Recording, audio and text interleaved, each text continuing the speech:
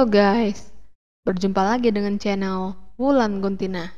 Kita akan melanjutkan belajar GeoGebra kita. Kali ini kita akan membuat konstruksi pada graphing perspektif GeoGebra dengan parameter pada polinom atau suku banyak. Pertama,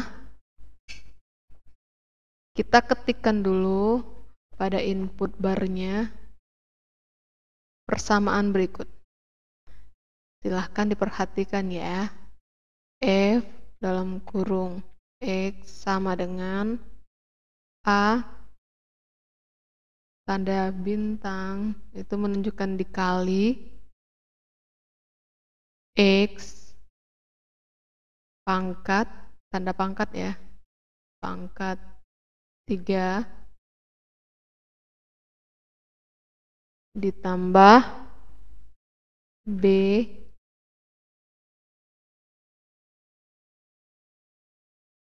X pangkat 2 ditambah C kali X tambah D. AX pangkat 3 ditambah BX kuadrat ditambah CX ditambah D. Kita enter maka akan muncul sebuah pola membuat dan akan muncul juga parameter A, B, C, dan D yang menyatakan slidernya masing-masing. Kemudian kita akan menampilkan slider ini, keempat slider ini pada perspektif view, grafik view maksud saya. Kita tinggal tekan bagian kiri pada bulatan visibility-nya. Kemudian kita atur sesuka kita biar terlihat cantik. Kita letakkan di sini. Ya saya atur dulu. Oke biar tidak terhalang.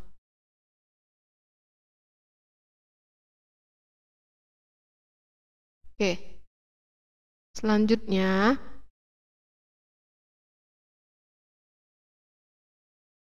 Kita akan mengatur. Kita posisikan di sini. Kemudian kita atur tiap-tiap slidernya dengan nilai-nilai tertentu untuk A itu 0,2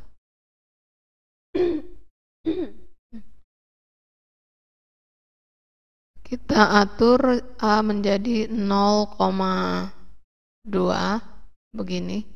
Kemudian untuk slider B kita atur menjadi minus 1,2 minus 1,2 Kemudian untuk slider C kita atur menjadi 0,6 ya. Kemudian untuk slider D kita atur menjadi 2. 2 ya. Oke. Selanjutnya pada input bar kita ketikkan R sama dengan root ini menyatakan akar ya dalam kurung F. Oke lalu kita tekan enter. Maka akan muncul R1 R2 dan R3 ini menampilkan akar-akar polinomnya yang secara otomatis akan diberi nama R1, R2, dan R3 oke ini ya titik-titik R1, R2, dan R3.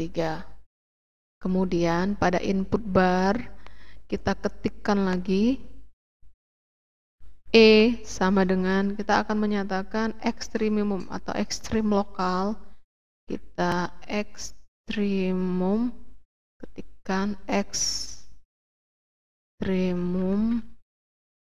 Jangan salah ketik ya hurufnya harus benar ekstremum. Dalam kurung F salah ketik satu huruf saja maka dia tidak akan tampil. Kemudian kita enter oke. Maka akan muncul titik-titik E1 dan E2 pada grafik view di sini. Oke. Langkah selanjutnya kita akan menggunakan tool tangan tool tangan untuk membuat garis singgung pada polinom yang melalui ekstrim E1 dan E2 tadi. Oke. Kita buka toolbox. Toolbox di sini kita lihat di sini ada garis singgung Lalu kita pilih di sini ya, kita klik dulu. Klik, kemudian kita tekan E1. Lanjut kita tekan garis merahnya, maka akan muncul garis. Ini namanya garis singgung ekstrim E1. Nah, seperti ini. Oke. Selanjutnya kita lakukan hal yang sama untuk E2. Kita backkan dulu. Kita pilih toolbox untuk garis singgung, klik. Kita tekan E2, tekan garisnya akan muncul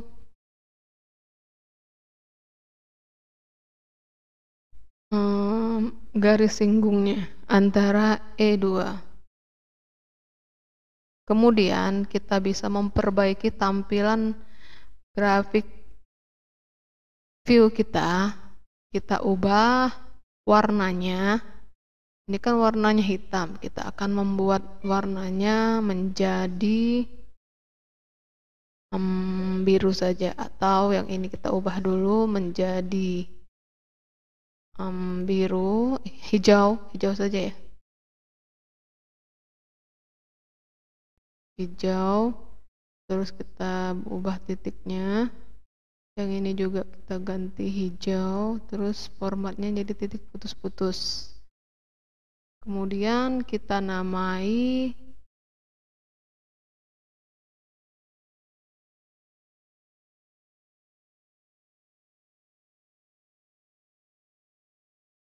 namai untuk G. Namai ulang G-nya menjadi T1 dan hanya menjadi T2 oke. Ya tinggal kita gerakkan seperti ini maka kita kecilkan dulu ya. Um,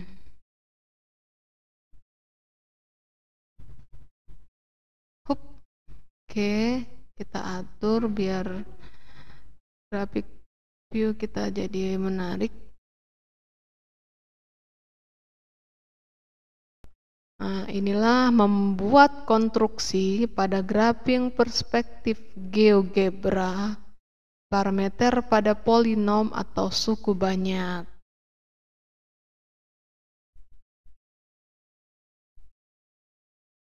Nah, kalian bisa mencobanya, mencoba di rumah semenarik mungkin warna-warninya bisa kita tampilkan. Kemudian kita bisa juga menghilangkan gridnya. Oke, hilangkan yang ini saja.